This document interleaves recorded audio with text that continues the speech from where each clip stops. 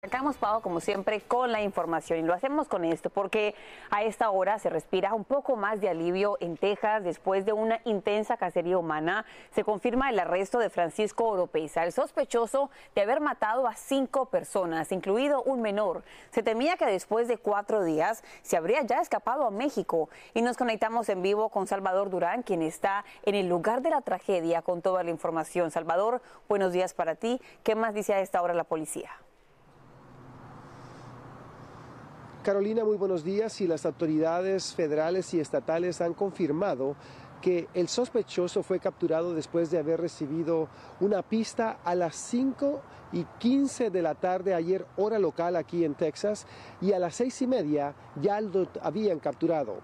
Univision fue el único medio con una cámara presente en el lugar y mostramos estas imágenes de cuando los agentes federales, que incluyen miembros élites de la de la patrulla fronteriza y también de aquí del estado de Texas capturan a Francisco Oropesa de 38 años de edad y lo llevan al automóvil para trasladarlo a la cárcel. Esto después de cuatro días de una intensa búsqueda que ocurrió en todo el estado de Texas y también en la frontera y al sur de la frontera, tal como nos lo explicó el alguacil en días anteriores.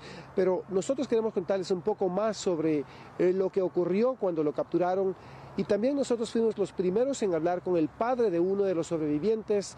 Esto es lo que nos han dicho. He was caught hiding in a closet underneath some laundry. Al escuchar y al confirmarme que era la persona que andaban buscando, haz cuenta como que si te hubieran sacado una roca. A pesar de tu pérdida. A pesar de mi pérdida porque me sentía todavía amenazado. al andar, este, póngale que yo ahorita como quiera no salgo ni a las tiendas, por lo mismo porque pues siento el temor de que esta persona podía tomar represalias todavía hacia mí porque andaba libre. Oropesa enfrenta cinco cargos de homicidio, nos dijo el alguacil. Se encuentra en esos momentos en la cárcel. Tiene una fianza de 5 millones de dólares y por supuesto él se presentará en corte en algún momento, ya sea esta mañana o en los próximos días. Nosotros estaremos muy pendientes sobre el desarrollo de esta historia. Estamos directamente desde Cleveland, Texas. Yo soy Salvador Durán. Regresamos ahora con estudio afortunadamente un poco de respiro para esas familias. Salvador, muchísimas gracias. En más noticias, la frontera sur de los Estados Unidos se está preparando para un despliegue militar ante el posible aumento en la llegada de inmigrantes a este país. Como ustedes saben, la próxima semana es el fin del título 42 que permite las deportaciones inmediatas impuestas por la pandemia y ahora los militares no van a interactuar con los migrantes. Esa tarea va a ser exclusivamente para la patrulla fronteriza. Desde nuestra sala de redacción, Lorraine Cáceres, como siempre, tú nos tienes más detalles. Muy buenos días, Lorraine. Cuéntanos, por favor. Buenos días, Paulina. Pues serían más de mil efectivos de distintas unidades del ejército empezarán a llegar a la frontera tan pronto como el 10 de mayo. El Pentágono informó que el Departamento de Seguridad Nacional solicitó la ayuda. La función de los militares será darle apoyo administrativo a la patrulla fronteriza. Estarán armados para su protección personal, pero no con el propósito de hacer cumplir la ley. Vamos a escuchar al vocero del Pentágono. For 90 days, these 1,500 military personnel who will be sourced from the active duty component will fill critical capability gaps such as ground based detection and monitoring, data entry, and warehouse support until CPB can address these needs through contracted support. El presidente Biden aprobó la medida en preparación a la llegada de miles de migrantes a partir del 11 de mayo. También el martes la administración Biden logró un acuerdo con México que permitiría la deportación a México de ciudadanos no mexicanos y mientras tanto entre migrantes está creciendo la incertidumbre. Hay muchos que están desesperados ahí en México que están buscando citas con CBP One todos los días, ¿verdad? Y no encuentran citas, así que se desesperan, ¿verdad? Y hay otros en este lado que pues se sienten un poco de, alivio y de alegría. Han habido familias aquí que solo la mamá le ha salido y a los hijos pues son menores de edad, 15, 14 años, no han podido. Y uno de los demócratas más importantes en el partido, el senador Bob Menéndez, ha criticado duramente la decisión de enviar tropas a la frontera, diciendo que militarizar la frontera es inaceptable y envía un mensaje equivocado de que los migrantes son una amenaza. Paulina, regreso contigo. Lorraine, mientras esto está pasando en la frontera, ¿cuál es la situación en ciudades, por ejemplo, como Nueva York o como Chicago, en donde los alcaldes están pidiendo que ya no envíen migrantes en autobuses? Bueno, Paulina, hoy precisamente llegan tres autobuses más a la estación Port Authority de Nueva York. Unas 60 mil personas han llegado a Nueva York desde la frontera y el costo podría ascender a los mil millones de dólares. La ciudad ya no tiene recursos y el alcalde Eric Adams, al igual que los alcaldes de Chicago, D.C. y otras ciudades, están pidiendo más ayuda federal. Y al norte de California, el FBI se une a la investigación de la policía ante la alarmante ola de apuñalamientos, específicamente en una ciudad universitaria que ha dejado por lo menos a dos personas fallecidas. Y nuestra compañera Socorro Cruz nos tiene más información. Socorro, muy buenos días, cuéntanos más adelante. ¿Qué tal Carolina? ¿Cómo estás? Muy buenos días. Algo terrorífico es lo que está sucediendo en una comunidad de 68 mil habitantes en donde dicen además las autoridades que no se registraba un asesinato desde el año 2019. Ahora el FBI se une a la policía local para atrapar al sospechoso. Fíjate que en menos de cinco días dos personas han muerto y una mujer en este momento se encuentra en estado crítico. Las tres víctimas fueron brutalmente apuñaladas en múltiples ocasiones, Caro, sin importarle al sujeto que habían testigos. El primer asesinato ocurrió el jueves en un parque a las 9 de la noche a un joven de 20 años de edad que regresaba de la universidad en una bicicleta.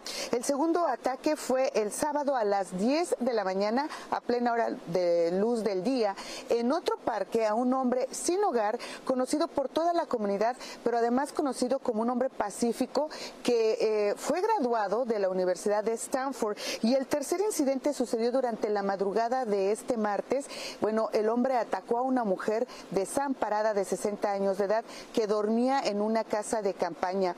Bueno, sus gritos, Carolina, hicieron que el hombre huyera y ella pudo llamar al 911, al igual que otros testigos. Vamos a escuchar qué dicen las autoridades. Uh, similarities of the two homicides are that both involved male victims. They occurred at Davis Parks. The attacks with knives were particularly brutal and violent. These were uh, not stabbings where a, a, person would normally be a victim of like a robbery or something like that, where there's just a couple of wounds. There were many and very significant uh, knife wounds. Y claro, bueno, el hombre ha sido descrito como delgado de 5 pies 6 pulgadas de alto, además cabello rizado. La policía dice que se trata de un asesino serial que está llamando la atención y por supuesto que le está recomendando a toda la comunidad de Davis, California, que no caminen solos, que lo hagan en grupos. Carito. Y Socorro, cuéntame, ¿la policía tendría algún tipo de idea de cómo es que esta persona, este hombre, esta mujer, estaría seleccionando a sus víctimas? Mira, en este momento la policía, agentes del FBI, ayudados por psicólogos, ya tienen un cuadro clínico de este sujeto y creen que sus víctimas las está escogiendo al azar. Pero para ellos es muy claro que el sospechoso está llamando la atención y además quiere que la gente se den cuenta que está cometiendo los crímenes. Por eso es que no le importa que hayan testigos. De hecho, hasta los busca. En el último ataque, antes de agredir a la mujer, habló con un grupo de indigentes. Después se marchó y regresó con toda la intención de matar a su víctima. Es lo que dicen las autoridades. Así que en este momento la investigación sigue abierta y una vez más las autoridades le están pidiendo a la comunidad que no caminen solos y menos de noche. Vuelvo contigo, soy Socorro Cruz. Y Socorro, también para preguntarte, ahí en este momento también se están ofreciendo clases para aquellos estudiantes que tienen que ir a la universidad después de las seis de la tarde. ¿Cuál es la reacción de los estudiantes al saber que una ciudad tan tranquila ahora están algunos hasta bajo un toque de queda? Sí, definitivamente ese toque de queda lo impusieron las mismas autoridades precisamente para que no salgan en la madrugada. La reacción es de mucho miedo, Carolina, bastante miedo, no nada más de los estudiantes, de la comunidad en general, porque es una de las ciudades más seguras en todo el país. Y ahora en menos de cinco días, dos muertes y una persona peleando por su vida. Vuelvo contigo. Socorro, excelente información como siempre, un caso muy preocupante. Una vez más se ve que un campus universitario está bajo alerta por alguien que llega a quitarle la vida a los estudiantes. Muchísimas gracias. Ahora la policía de Nueva York investiga la muerte de un hombre que presuntamente acosaba a los pasajeros del metro y desde la Gran Manzana, Peggy Carranza nos tiene detalles de este caso. Peggy, adelante.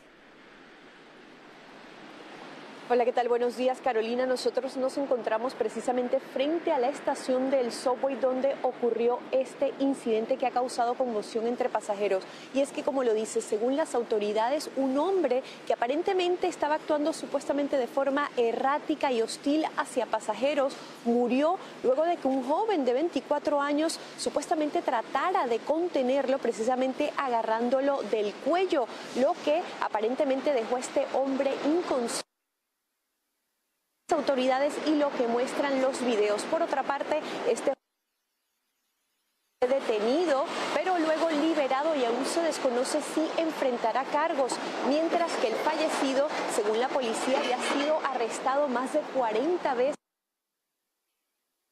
Caso por de salud mental. Veamos lo que dijo este testigo del incidente se quita la chamarra de manera muy agresiva, la avienta en el piso, la azota, por detrás le llega y lo atenaza primero con una mano en el cuello y con el pie lo tira. Lo tira y se queda en esta posición tirado, apretándolo. Hace un último esfuerzo por liberarse ya casi de espaldas. Se ve cómo mueve sus pies y en ese momento se deja de mover. ¿Qué hacer, no? ¿Qué hacer? ¿Cómo reaccionar? Y este no sería el único incidente reciente. También el domingo, según las autoridades, un pasajero que dormía fue despertado a palazos por parte de un hombre precisamente en la cara. Esto mientras las cifras se mantienen de estos incidentes en el sistema de tránsito muy parecidas a la del año pasado. Estamos hablando de unos 696 casos.